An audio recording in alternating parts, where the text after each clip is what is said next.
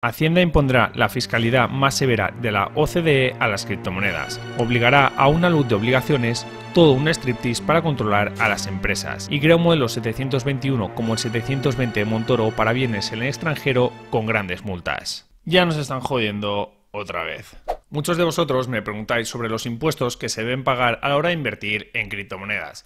Y aunque ya hice algunos vídeos sobre este tema hace un tiempo, veo una buena idea actualizar esa información aprovechando esta última noticia bomba que ha salido en la prensa. Así pues, en el vídeo de hoy repasaremos todas las obligaciones fiscales que tenemos a la hora de invertir en criptomonedas, aclararemos dudas y veremos las últimas novedades sobre impuestos y criptomonedas. ¿Qué impuestos hay que pagar si invertimos en criptos? ¿Cuáles son los nuevos planes de Hacienda? Vamos a verlo.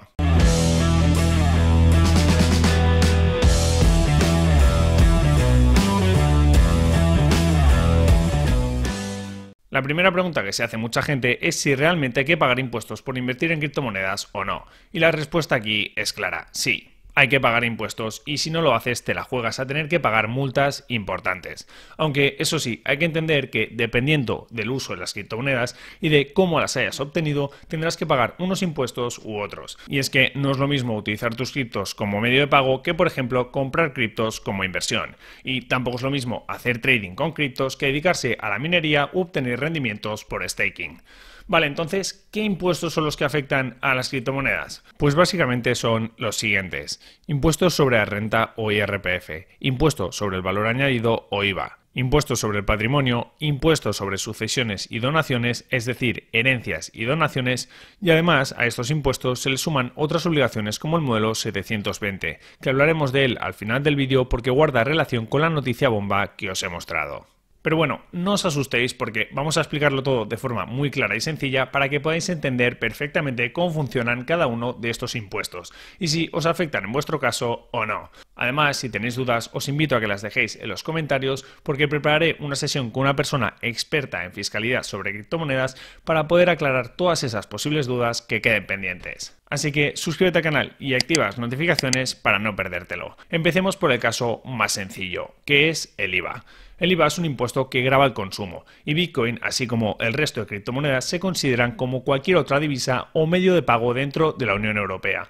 Así que, por lo tanto, no hay que pagar IVA al invertir en criptomonedas. Y por supuesto, tampoco hay que pagarlo a la hora de vender nuestras inversiones. Eso sí, de la misma forma que cuando compras algo en euros pagas el IVA correspondiente, que suele ser el 21%, si pagas en criptomonedas también pagarás el IVA que toca. De eso no te libras. En segundo lugar, tenemos el impuesto más importante, que es el impuesto sobre la renta de las personas físicas o IRPF. Así que ahora permaneced bien atentos.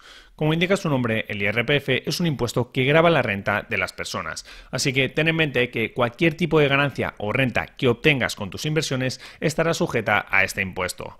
Dicho esto, ten claro que tan solo tendrás que pagar impuestos por los beneficios realizados. Es decir, que si tú tienes criptomonedas que han subido de valor en el mercado, pero no las has vendido, no tienes que pagar impuestos por esa subida. Y si has vendido con pérdidas, pues tampoco tienes que pagar impuestos, obviamente. Como sabemos, existen diferentes maneras de ganar dinero con las criptomonedas, así que en el IRPF también se recogen diferentes categorías. Por un lado estarían las ganancias o pérdidas patrimoniales, donde irían las ganancias por la compraventa de criptos, que además tienen el mismo funcionamiento que las acciones. Cuando tú vendes una cripto o, importante, la intercambias por otra criptomoneda, se produce una ganancia o pérdida patrimonial, que tributa en el IRPF como renta del ahorro a los siguientes tipos que tenéis en pantalla. Entonces, si por ejemplo compraste un Bitcoin por 20.000 euros y lo vendiste a 40.000 euros, habrías obtenido una ganancia patrimonial de 20.000 euros que deberás incluir en la declaración de la renta. Y de esos 20.000 euros, pues pagarás un 19% por los primeros 6.000 euros y un 21% por los 14.000 euros restantes, lo que equivale a un total de 4.080 euros en impuestos. ¿Y qué pasa si con unas operaciones ganas y con otras pierdes? Pues pasa exactamente lo mismo que con las acciones. A las ganancias patrimoniales que has generado se le restan las pérdidas. Es decir, que las ganancias y pérdidas se compensan entre sí, por lo que solo pagarás impuestos por el resultado final. Luego, si el resultado después de esta compensación sigue siendo negativo, podrás además compensar la pérdida con hasta un 25% de los rendimientos del capital mobiliario que hayas generado. Y si aún siguen quedando pérdidas, estas podrán compensarse durante los cuatro ejercicios fiscales siguientes. Vale, Carlos, pero ¿y qué ocurre si, por ejemplo, obtengo ganancias por hacer staking o genero intereses por prestar mis criptomonedas en plataformas como Celsius o BlockFi? Pues en estos casos la ganancia se considera como un rendimiento del capital mobiliario y también habría que incluirlo en la declaración de la renta y pagar sus impuestos correspondientes. Ese tipo de rendimiento tributaría de la misma forma que, por ejemplo, los dividendos de las acciones o los intereses que te da el banco por depósitos y se suman a las ganancias patrimoniales para formar la base imponible de la ahorro. Así que los tipos impositivos que se pagan por estas ganancias son los mismos que los que se aplican a las ganancias de capital. ¿Y si por ejemplo obtengo ganancias por airdrops, forks o referidos? Pues en ese caso estaríamos hablando de ganancias y pérdidas sin transmisión, y esos ingresos se sumarían a la base imponible general. Así que los impuestos a pagar en esos casos son todavía mayores y son los que podéis ver en pantalla y los mismos porcentajes se aplican a la minería de criptomonedas, que además es considerada como una actividad económica, por lo que habría de darse de alta como profesional. Como he comentado, el IRPF es el impuesto más importante ya que nos afecta a todos los que invertimos en criptomonedas. Sin embargo, también es muy importante tener en cuenta otras obligaciones que también pueden afectarnos como inversores, así que vamos a verlas ahora mismo junto con las últimas novedades que nos han llegado. Otro impuesto por el cual se ven afectadas las criptomonedas es por el impuesto sobre el patrimonio ya que el dinero que tengas invertido en criptomonedas se sumará a la hora de calcular tu patrimonio y determinar si estás obligado o no a presentar este modelo. La parte menos mala de este impuesto es que la gran mayoría de inversores no tiene que preocuparse por él, ya que por norma general existe un mínimo exento de 700.000 euros, aunque varía según la comunidad, y se restan 300.000 euros de la vivienda habitual. Por lo que si no tienes un patrimonio elevado que supere los 700.000 euros como norma general, no deberías preocuparte. Pero en caso contrario, ten presente que el valor de las criptomonedas a 31 del 12 también se suma y se tiene en cuenta en el impuesto a pagar. Y ya para ir cerrando este infierno fiscal tendríamos el famoso modelo 720, que no es un impuesto que tienes que pagar, sino una declaración informativa sobre los bienes y derechos que posees en el extranjero.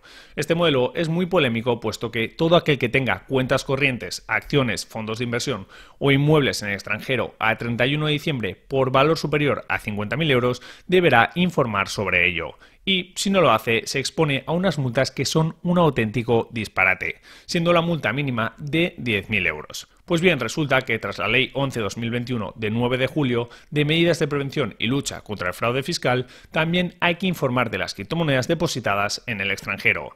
Y aunque este hecho ha generado bastantes dudas, ya que no hay información sobre cómo incluir las criptomonedas en el modelo y cuáles son realmente sus límites, podemos decir que si tienes criptomonedas valoradas en más de 50.000 euros en un exchange extranjero a 31 del 12, como podría ser Binance, Coinbase, Kraken, etc., mejor que estés preparado para presentar esta información a Hacienda. Sin embargo, si las tienes custodiadas por un exchange español o en tu propia billetera fría, como podría ser el caso de Ledger, o bien en tu ordenador o dispositivo móvil, se entiende que las criptomonedas están en España y por lo tanto no tendrías esa obligación de presentar este modelo. Este sería todo el panorama que tenemos a día de hoy a nivel de impuestos y criptomonedas. Pero como ya os he anticipado, han llegado nuevas noticias y como el modelo 720 está en los tribunales de la Unión Europea listo para sentencia, Hacienda ya está preparando nuevos modelos por lo que pueda pasar. Por un lado estaría el modelo 721, que sería el equivalente al modelo 720, pero que esta vez sí que serviría para declarar las criptomonedas. Y luego, además, tendríamos dos modelos adicionales, el modelo 172 y el 173, que deberían presentar las empresas del sector que tengan su residencia en España. Unos modelos que obligarían a declarar los saldos de criptomonedas que poseen las compañías y los de sus clientes. Y también estarían obligadas a informar sobre todas las operaciones realicen tanto en España como en el extranjero. Pero bueno, ya veremos en qué acaba todo esto y lo que se publica finalmente en el BOE. Espero que te haya sido útil toda esta información. Si es así, espero que me dejes un buen like para apoyarme y también que te suscribas al canal activando las notificaciones para estar al corriente de todas las novedades. Además, recuerda que puedes dejarme tus dudas en los comentarios, porque prepararemos una sesión con un experto en fiscalidad sobre criptomonedas para despejar todas estas dudas. Así que ya sabes, activa la campanita, comenta y nos vemos en el próximo vídeo.